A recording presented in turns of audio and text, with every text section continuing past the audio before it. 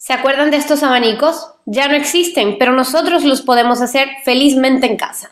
Necesitamos papel, hilo, tape, tijeras, cosas muy sencillas. Cogemos un pedazo de papel de 60 centímetros de largo por 10 centímetros de ancho y lo vamos a doblar por la mitad, una cuarta parte, una octava parte, una dieciséisava parte, siempre por su mitad.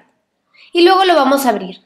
Tenemos pliegues, estos pliegues serán nuestras marcas. Vamos a doblar cada uno de ellos por la mitad. Mientras más finos queden estos pliegues, mejor quedará nuestro abanico.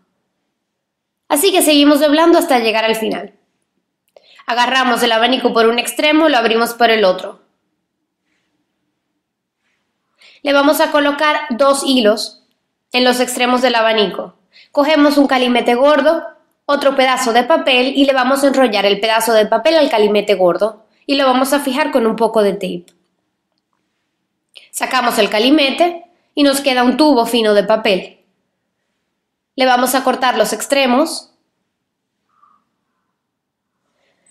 y necesitamos otro tubo más gordo de papel y nos fijamos de que nuestro tubo fino de papel pase libremente por el tubo más gordo. Ahora cogemos nuestro abanico Cogemos la parte inferior por donde no están los hilos y la vamos a meter dentro del tubo de papel. Metemos más o menos un centímetro dentro, cosa de que quede bien fijo. Incluso para fijarlo más le vamos a poner un poco de pega.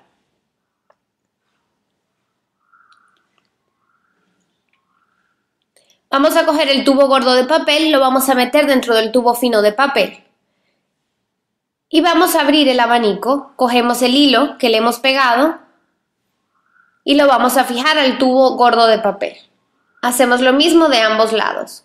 Así que tenemos nuestro abanico abierto y cuando lo queremos cerrar solo tenemos que subir el tubo gordo de papel y queda perfectamente guardado. Podemos hacerlo también escribiendo un mensaje o podríamos incluso usar papel reciclado. En vez de tirarlo a la basura, podemos usarlo para hacer nuestro abanico y pasar mejor el veranito.